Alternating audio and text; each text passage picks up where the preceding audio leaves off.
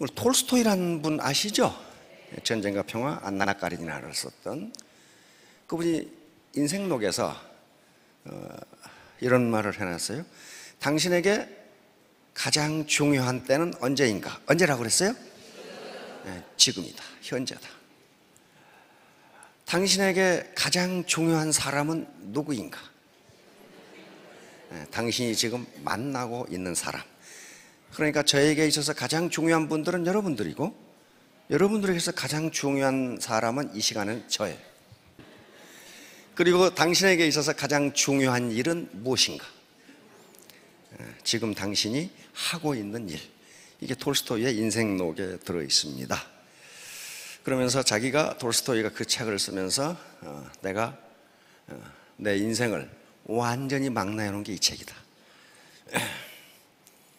잊어버리지 마세요. 근데 우리가 사는 세계가 무슨 세계예요? 우리, 우리 체제가 무슨 체제예요? 자본주의?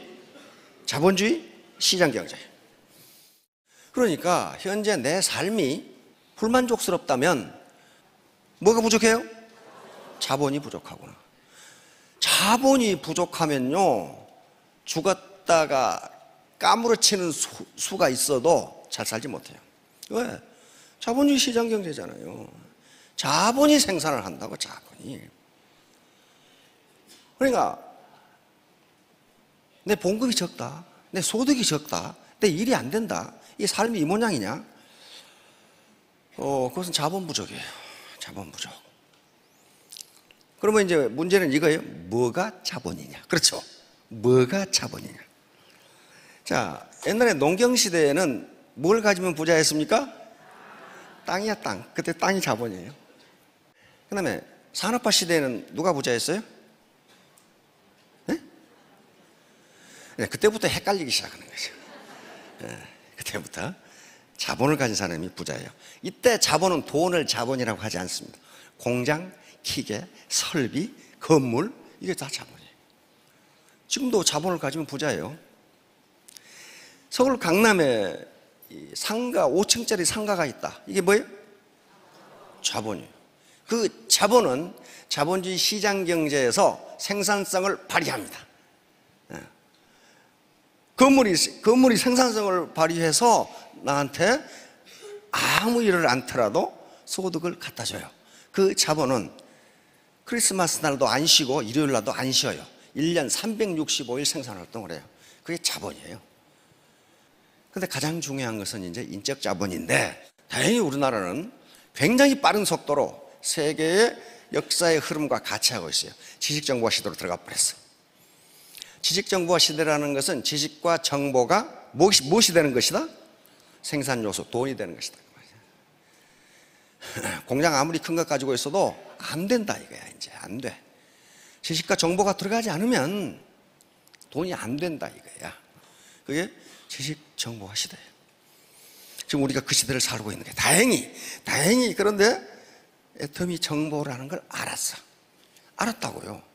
정보는 공짜가 아닙니다. 더 never 절대로 공짜가 아니에요.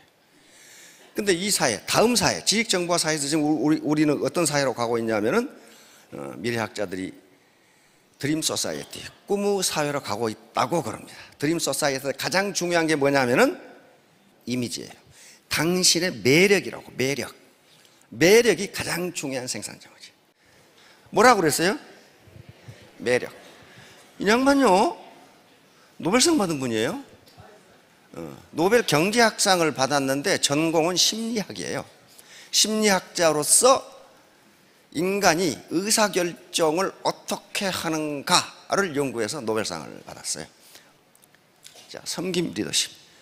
이게 이제 매력의 기본이에요. 처음 오신 분이나 또는 얼마 됐더라도 리더십이라는 말이 굉장히 생소할 수가 있어요. 내가 무슨 리더인가? 내가 누구를 끌고 가지? 그런데 모든 인간은 근본적으로 리더입니다. 그리고 애터미 사업자 각각은 전부 리더가 되지 않으면요, 성공 못해요. 지금까지 산업화 시대까지 리더십은 권위주의적 리더십이었어요. 리더가 폴로미 나를 따르라. 너 그렇게 해. 너 왜 그렇게 하냐? 이렇게 했어요. 근데 그 리더십이 나쁜 게 아니에요. 아니야. 그 시대에 맞아 그것이. 중우장대한 대량 생산 시대에는 컨베이어 시스템으로 일렬 횡대로 씌워놓고 어? 기계적으로 일을 해야 생산성이 높아. 그런데 지금 지식정보화 시대에는 그렇게 일해 가지고는 물건이 한 개도 안 팔려. 안 팔려. 개성의 시대가 온 거예요. 개성의 시대가. 그 이때 가장 필요한 게 섬김 리더십이에요. 서번트 리더십이라고 하는데 리더가 권위주의적으로 지시하고 명령하고 나를 따르라 하는 것이 아니라 같이 갑시다. 어떻게 할까요? 이거란 말이에요. 그러면 이 섬김 리더십은요, 그러니까 파트너를 어떻게 섬기고 지원하고 후원해 주란 말이에요. 그렇게 한게 섬김 리더십이에요. 자, 그러면 이 사람이 servant 리더십이라는 책을 저술한 거야. 그런데 이 사람이 어디서 그 아이디어를 얻었느냐? 요 헤르만 헤세의 소설을 읽고 servant 리더십이라는 걸 아이디어를 번쩍하고 얻었어. 여기에 동방으로 여행 헤르만 헤세 있죠? The Journey to the East 동방으로 여행에서 여기에 레오라는 인물이 나오는데 여행 여행 집단 중에 단체 중에 레오라는 인물이 나오는 레오는 그 단체 하인이야 하인. 쑥 동방으로 그 무리가 가는데 어느 날 갑자기 레오가 없어졌어. 없어졌는데 없어진 뒤부터 조직이 아주 엉망진창이야. 일이 되는 일이 없어. 되는 일이 없어. 그때사 그러고 결국 해체됐어. 동방으로 여행을 못 하고. 그래서 나중에 그 레오라는 사람이 어떤 사람인가 하고 한 사람이 찾아 나섰어.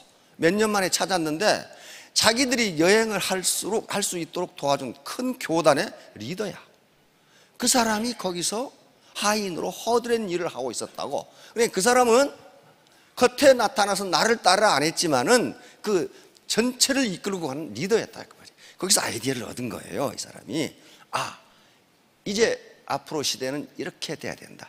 근데 그 당시는 냉전이 한참 진행되고 기업 간에 치열한 경쟁이 진행되는 시기이기 때문에 별로 관심을 얻지 못했어. 근데 20년 후에 그 책이 나온 거예요. 모든 기업이 지금은 기업 워크샵에서 서번트 리더십을 토의 주제로 하고 있다. 그럼 왜 그 시대가 서번트 리더십에서 레오 같은 역할 그게 중요한데 왜 그렇게 바뀌었을까? 20년 전에 그린리프가 얘기할 때는 아무도 말을 안 듣다가 20년 후에 갑자기 아 이거 봐라 이거 해야 되겠네 바뀌었을까? 시대가 바뀐 거예요 시대가. 1970년대 후반에는 그때만 하나도 산업화 시대예요. 그러나 미국 내부에서는 1970년대부터 지식정보화 시대로 가고 있었어요. 그래서 그린리프는 이걸 발표한 거예요. 그러나 기업은 아직 못 따라왔어. 그러다가 시대가 바뀐 거예요. 다시 말하면 지식정보화 시대가 되니까 컴퓨터와 인터넷 그리고 SNS의 발전으로 리더가 정보 독점을 못하게 돼. 다 알아. 그 사람 아는 건 나도 알아. 그 사람 아는 건 나도 알아. 그러니까 리더가 정보 독점을 못해. 정보 독점을 하는 자가 권력을 갖습니다. 부하들은 모르는데 나는 알아. 그럼 어때요? 그 리더의 말을 따르지 않을 수가 없어요. 그건 지금 다 알아. 자, 시대가 이렇게 되니까 리더가 나를 따르라 해가지고는 안 따른다. 그런 말이에요. 설득하지 않고는 안 따라간다는 거예요. 그래서 이 시대가 된 거예요, 이제. 자, 그러면 어떻게 섬기는데 그 사람이 리더냐 하는 거예요. 섬기는데. 이 세 가지 조건 때문에 그렇습니다. 섬기지만은 리더라는 역할을 하는 사람은 뭘 제시해야 된다고요? 비전. 비전을 제시해야 돼. 지금 우리는 뭘 해야 되냐? 이걸 제시하지 않고 어떻게 할까요? 그래, 열심히 해봐. 그 비전이 없잖아요. 이 섬기면서도 비전을 제시해 주는 역할을 하기 때문에 리더다. 리더. 두 번째, 조정자. 사람이 모이면요. 가치관이 전부 달라. 취미가 다 달라. 그러니까 반드시 갈등이 있어. 특히 애터미는 진입 장벽이 없어요. 그냥 들어오는 거예요. 그리고 유지비도 없어. 그러니까 어때요? 쉽게 말하면 5만 가지 사람이 다 들어와. 그러면 그 파트너와 파트너, 내 가족 라인과 형제 라인 간의 갈등을 누가 조정을 해야 되냐 말이에요. 이 리더가 조정을 코디네이터 역할을 해줘야 돼요. 그렇죠? 안 그러면 갈등이 일어나. 자, 다음 세 번째. 리더가 후원자 역할을 해서 자기 파트너들도 가족을, 가족을 가지고 있는 하나의 생활인이에요. 그렇죠? 맨날 일만 할 수는 없어. 그러니까 일과 생활이 균형을 이룰 수 있도록 스폰서십을 제공해 줘야 돼. 이런 역할을 하기 때문에 섬기면서도 리더예요. 섬기면서도 리더라고요. 이거 아무나 할 수 있는 게 아니에요. 가슴 폭이 넓어야 돼. 그러면 이분이 레리 스피어스라는 분인데 그래서 이분이 섬김 리더십의 특징은 무엇인가 하는 것을 열 가지로 요약해서 발표를 했어. 뭐라고 그랬어요? 야, 경청이 탁 나오잖아요, 경청. 섬김 리더, 리더가 되는 것 중에 가장 중요한 게 뭐다? 경청이다. 남의 말을 들어라. 자, 다음. 공감. 파트너의 어려움.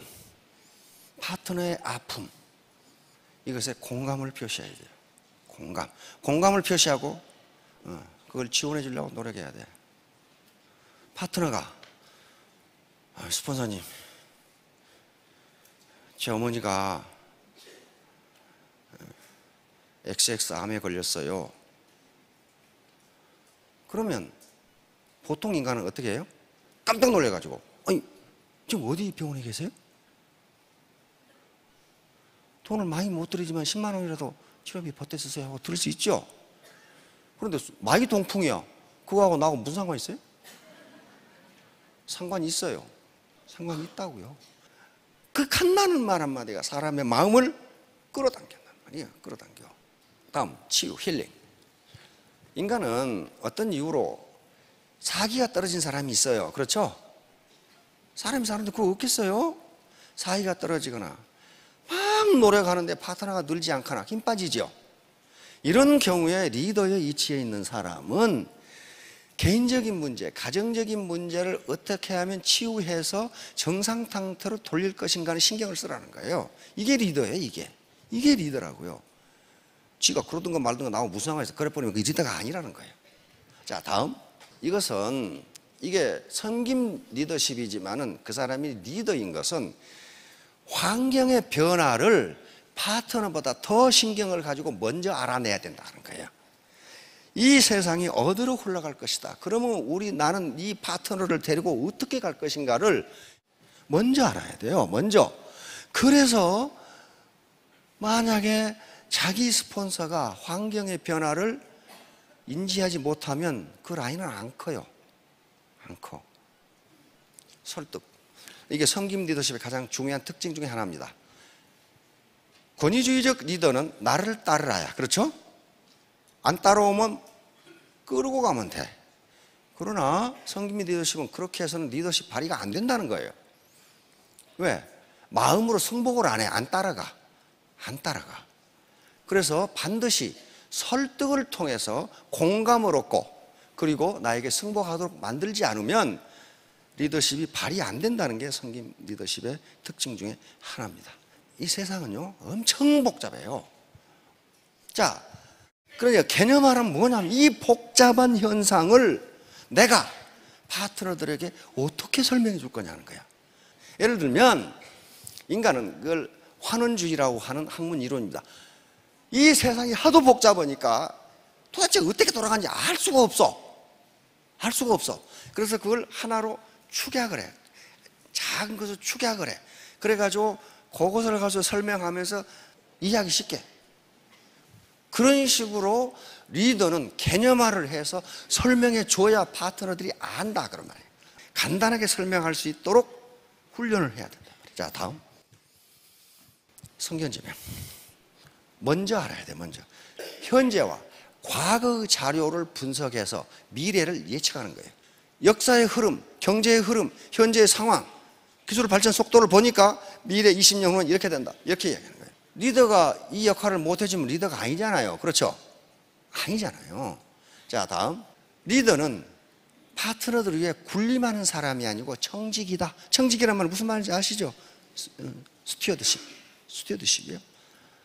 다시 말하면 재산 관리인이다. 그런 말이에요. 내가 내 라인을 내 라인이 청지기다. 그러니까 내가 내 라인을 평소에 건전하게 관리하고 있다가 파트너들이 성공하고 사회에 더 큰 이익이 되도록 필요할 때는 언제나 그걸 갖다 쓴다. 그게 청지기예요.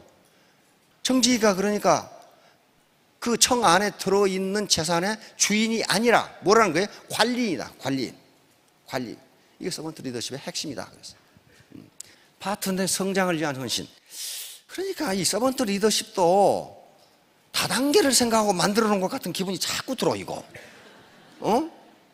왜 이 서번트 리더십, 성김 리더십이 우리 애터미가 딱 맞다고 그랬냐면은 우리 사운회가 그게 결정이 돼 있어요.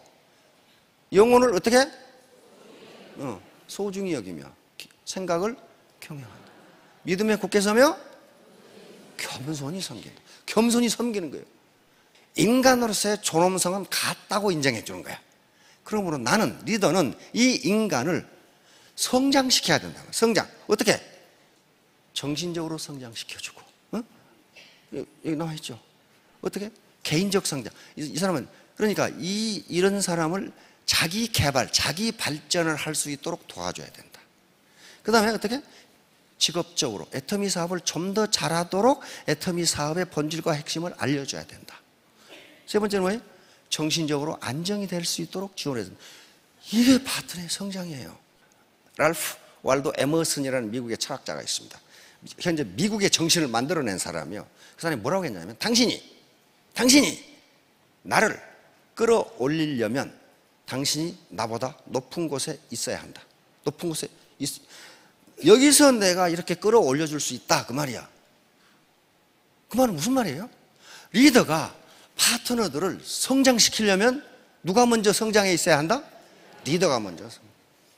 이게 마지막이 공동체 형성. 무슨 말이냐면요. 옛날에 우리가 살 때는 한 마을에서 지역 공동체를 이루고 살았어요. 거기에 일가 대소가 또 다 모여 있는 경우가 있어. 그렇죠? 그럼 어때요? 어느 집에 결혼식이 있다. 초상이 났다. 그러면 온 동네가 어떤 사람은 콩나물 삶아가고 어떤 사람은 뭐 삶아가고 하나의 공동체로 마치 형제지간처럼 그렇게 살았어요. 그렇잖아요. 그런데 도시화가 진행되고 산업화가 진행되면서 이 지역 공동체가 깨져버렸어요. 그러면 그 공동체를 친구로 내 라인, 내 파트너, 내 센터, 내 팀을 마치 피를 나눈 형제처럼 만드는 그 역할을 누가 해줘야 된다? 리더가 해줘야 된다. 리더가. 그렇게 되면 사업에 성공하고 어, 인생이 그렇게 고달프지가 않아요. 내가 어려웠을 때 누가 달려와요? 친구가 달려오잖아요. 친구가 친구가 아닌 놈 안 달려와. 친구가 아닌 놈 언제 달려오느냐? 내가 밥 살 때 달려와. 그러면 내가 어려움에 처했으면 그러면 어디 가버리고 없어. 그래서 그렇게 만들라는 게 공동체를 만들라는 거야. 그래야만 당신의 조직이 발전한다는 거예요. 그렇게 하시겠죠? 어, 그렇게 하시겠죠? 어, 어떻게 되자고요? 따뜻한 사람이 되자. 결론 하나입니다. 따뜻한 사람이 되자. 내가 따뜻하면 파트너들은 따라오게 돼 있어요. 아시겠죠? 예, 3년 후, 5년 후에 모두 월천택 월천남이 되시기 바랍니다. 예.